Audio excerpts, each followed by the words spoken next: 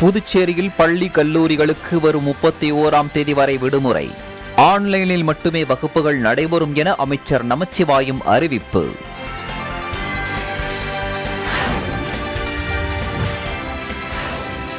திருச்சி நவலூர் குட்டப்பட்டு கிராமத்தில் விமரிசையாக நடைபெற்ற ஜல்லிக்கட்டு.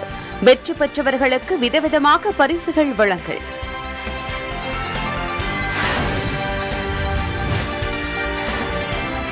இலங்கையில் மாசி கருவாடு இறக்குமதிக்கு கூடுதல் வரி விதிப்பு எதிரொலி. தூத்துக்குடியில் மாசி கருவாடு உற்பத்தி நிறுவனங்கள் பாதிப்பு.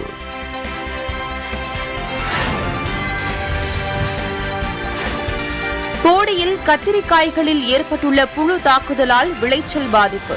நோய் தாக்குதலை கட்டுப்படுத்த முடியாததால் நஷ்டம் ஏற்படுவதாக விவசாயிகள் வேதனை.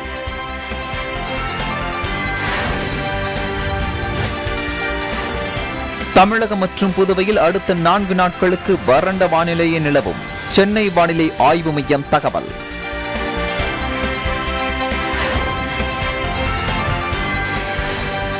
சபரிமலையில் இன்றுடன் மகரவிளக்கு கால தரிசனம் நிறைவு. நாளை நடை அடைப்பு.